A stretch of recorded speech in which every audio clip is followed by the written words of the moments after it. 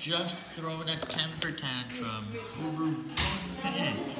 I'm really sorry for this, but it's all because. Sorry for my fingers though.